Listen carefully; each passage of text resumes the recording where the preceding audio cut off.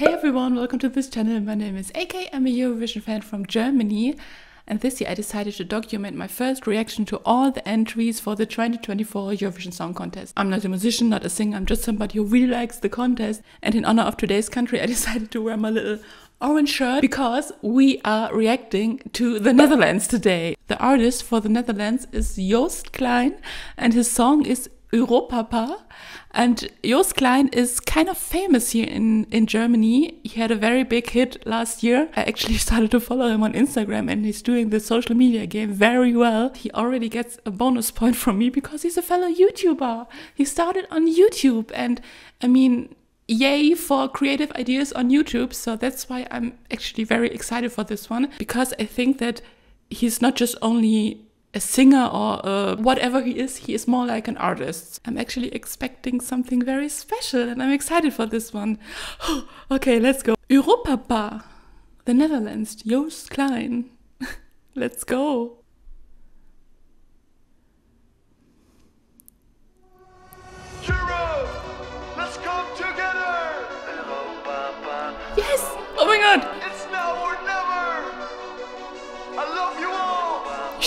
Shit, I love it.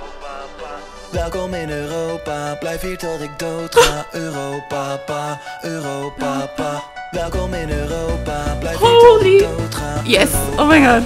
Europa. Bezoek mijn friends en friends of neem de It's benen naar Wenen. Ik wil weg uit techno. Netherlands, maar mijn paspoort is verdwenen. Heb gelukkig geen visum nodig om bij je te zijn. Dus neem de bus naar Polen of de trein naar Berlijn. Ik heb geen geld voor Parijs. dus Look at it. Mijn fantasie,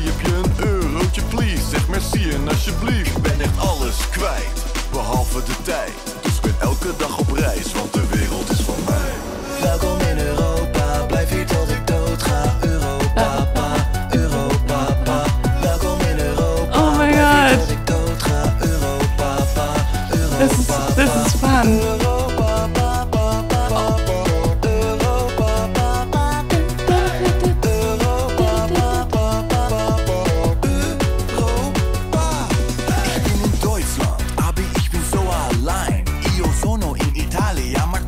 pijn. Ben aan het You know what? mezelf, He- hele dag om help. the- this geef zelfs kind of marketing is er very good. die me helpt. Ik hoef geen escargots, hoef geen vis en He was talking about Germany earlier.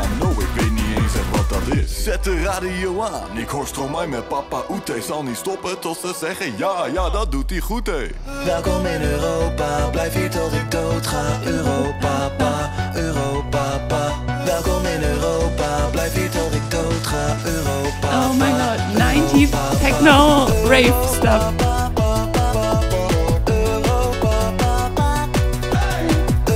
Synthesizer.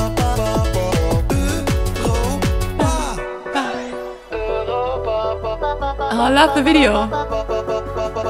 It's not full HD, it's like the old school 4x3. Nice. Retro.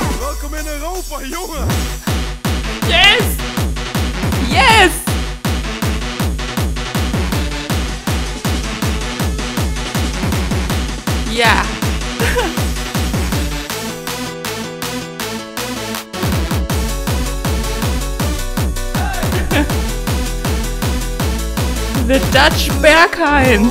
Bring the Berghain to the Eurovision stage.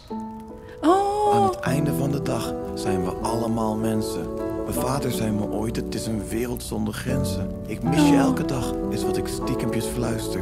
Zie je nou wel pa, ik heb naar je geluisterd. His parents?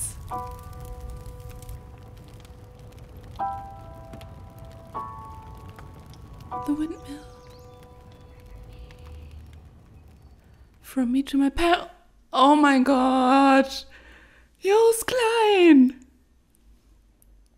Oh my god, I really like that. Is this the new Eurovision hymn? Okay, I really need to look up the lyrics for this. I kind of understood a little bit because German and Dutch are, have some similarities. Overall, it was something about Europe and everybody is united in Europe. I have to I have to look up the the connection. I love the style. I mean, those 90s techno synthesizer beats is this is so 2020. This is a 2024 song. Seriously. And maybe it's something controversial. Netherlands over Croatia.